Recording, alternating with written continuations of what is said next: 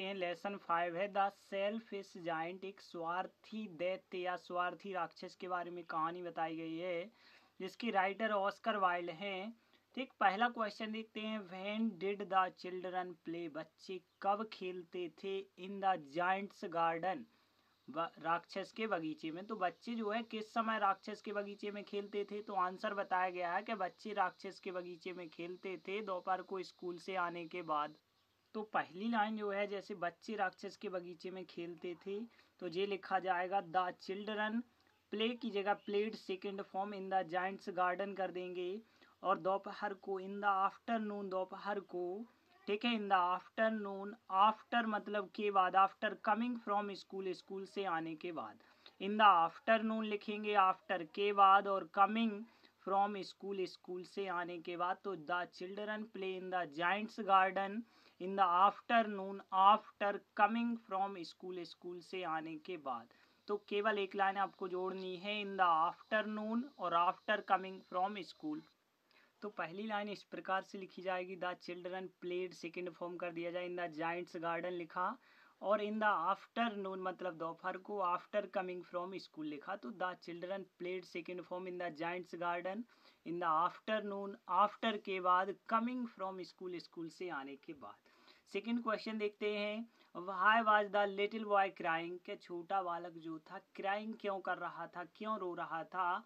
तो छोटा बालक इसलिए रो रहा था क्योंकि वह पेड़ पर चढ़ने में समर्थ नहीं था। इस वाक्य को कैसे बनाया जाएगा? पहली लाइन क्वेश्चन की है तो आप लिखेंगे, the little boy was crying because क्योंकि वह पेड़ पर चढ़ने में समर्थ नहीं था।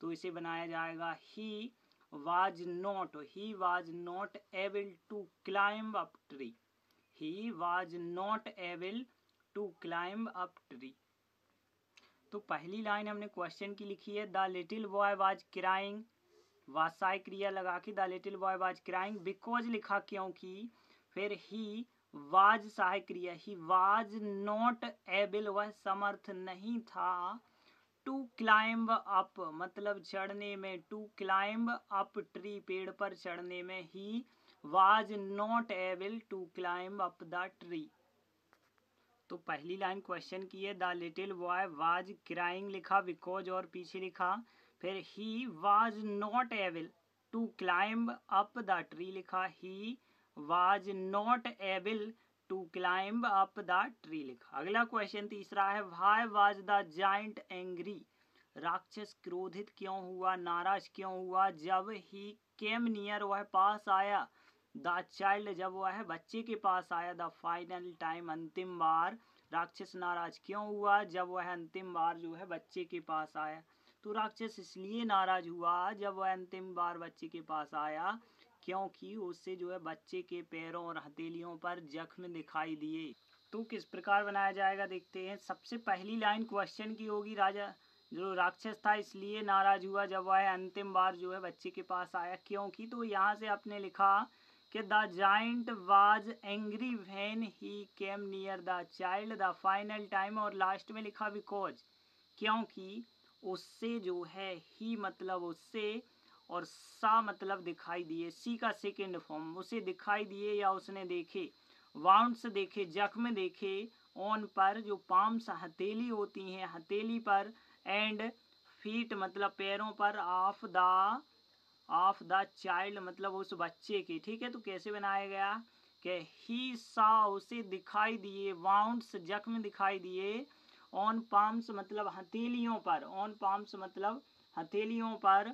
And feet of the child feet of the child feet मतलब पैरों और पाम्स मतलब हथेलियों पर. तो कैसे बनाया गया? The giant was angry when he came near the child the final time because और ही सा उसे दिखाई दिए वाउंड्स जख्म दिखाई दिए on the palms and feet of the child तो पहली लाइन क्वेश्चन की है the giant was angry when he came near the child the final time because और जोड़ा आपने।